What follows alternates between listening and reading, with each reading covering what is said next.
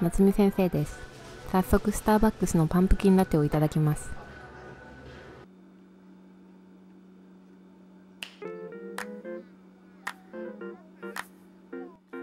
今日はお出かけに行く前に皆さんにヒントを。今から作る折り紙が今日の動画のテーマです。お家に折り紙がある方はぜひ一緒に折りながら考えてみてくださいね。折り紙を折っている間、せっかくなので今日の飲み物にちなんだ私のスターバックスの話をしたいと思います。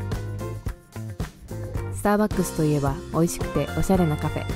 高校生の頃は特別なご褒美の日だけと中間テストや期末テストの最終日を迎えた日に友達と飲みに行くのが定番でした。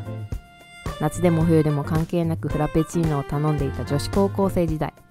もちろんみんなトールサイズ以上を注文。でも私だけ年中ショートサイズを。なぜならお腹を壊すから。それでも写真を撮っていっぱい笑って楽しかったな。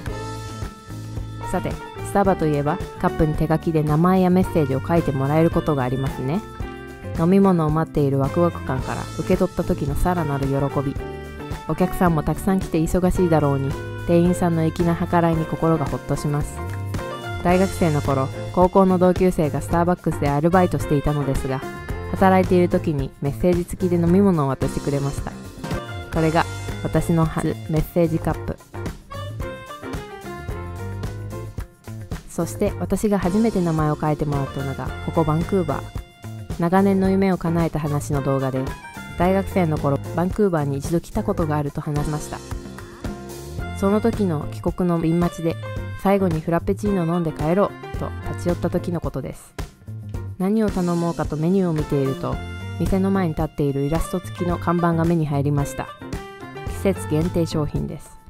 私的には季節限定商品には外れないと思っているので緊張しながらも注文しました。すると前後のお客さんには聞かなかったのになぜか私だけ「What's your name?」と聞いてくる店員さん「夏海」と言うと聞きなじみがないのか綴りを教えてというので一つずつ丁寧に発音。しっかりと伝わったか心配でしたが無事伝わっていました。今思えば英語を話せない私のため受け取りを分かりやすくするために名前を聞いてくれたのでしょうか。おかげさまでバッチリ受け取って名前を初めて書いてもらえたことにも大満足で写真も撮っていざシーン未だにあの時の衝撃が忘れられないのですがカップを3度見してしまったくらい予想外の不思議な味でした。まさか店員さんが作り方を間違ったのか？とふと悪いことを想像してしまいましたがそんなことはなくただ馴染みのない味にびっくりしただけでした。最高の思い出とともに最強のインパクトを与えてくれたこの飲み物こそ今日飲んだパンプキンスパイスラテです。今回はホットで注文しましたが前回の衝撃が忘れられなくて1回目は構えてしまいました。なんと味はマイルドで美味しく飲むことができました。レシピが変わったということなのか海外の味に慣れたということなのか真相は私にも分かりません。飲んだことがある方は是非感想を教えてください。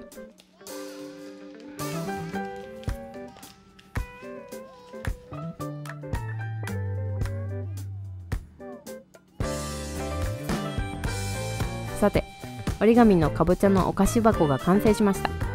もうお分かりかと思いますが今日の動画のテーマはハロウィンです。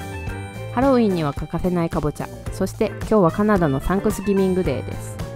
カナダでは毎年10月の第2月曜日にお祝いしますがアメリカのサンクスギビングデーより約1ヶ月半早いです。そのため10月に入ると街中のお店がもみじやかぼちゃのデコレーションで装飾されてお祝いムードが漂っています。今日は天気がいいので私もお祝いに向けて準備しようと思います。